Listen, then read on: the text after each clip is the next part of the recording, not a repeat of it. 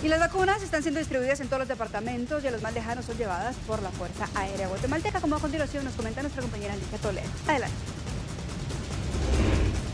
El centro de vacunación del Campo Marte ya está preparado, el personal ha sido capacitado, eh, estamos listos para empezar operaciones. Eh, sin embargo, estamos pendientes todavía que el Ministerio de Salud Pública y Asistencia Social nos dé la luz verde para empezar a operar. Eh, se proyectaba que empezáramos el día de ayer lunes, eh, pero al parecer toda esta semana todavía vamos a estar sin, operar en este lugar. Las eh, condiciones conforme se dieron la comunicación la semana pasada continúan siendo las mismas para que las personas, las personas que vengan a este puesto de vacunación ya estén enterados.